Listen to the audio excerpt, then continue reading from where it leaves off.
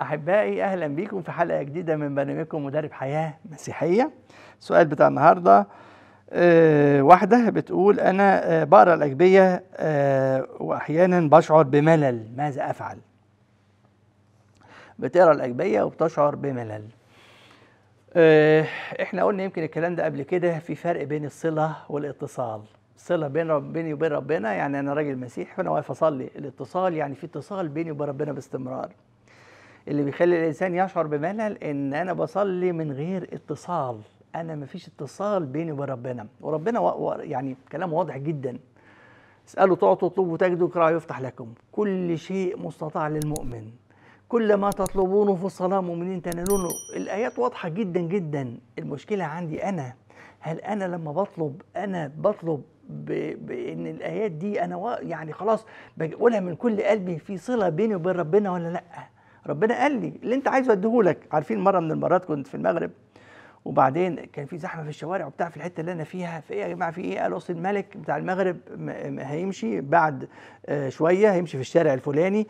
وفي الشارع الفلاني ده هو وهو ماشي على رجليه متعود يعمل الموضوع ده باستمرار. وهو ماشي على رجليه أي حد يوصل له يطلب منه أي حاجة يديها له. بس هي المشكلة إزاي تقدر توصل له؟ من الزحمة بقى وبتاع. لكن أي حد يوصل له عايز فلوس عايز سلفية عايز شغل عايز جواز سفر عايز بتاع يديهوله. طالما وصل الملك لازم يديهوله.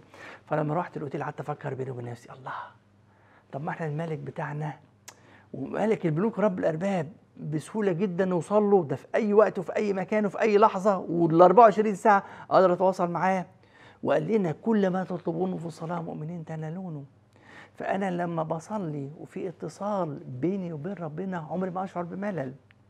لكن لو صليت من غير اتصال يعني حضرتك وانت كاتبة السؤال ده هو بتقري الأجبية من غير اتصال بينك وبين ربنا.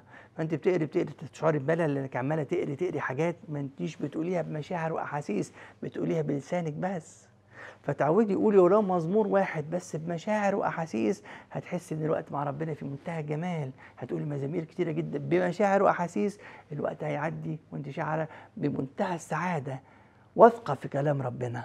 اللي قال لنا كل هذه الوعود إحنا مش محتاجين غير إن إحنا بس نغمض عينينا ونتواصل مع ربنا. صح هنبص نلاقي كل الوقت اللي بنقضيه بالساعات وقت ممتع جدا وكويس جدا.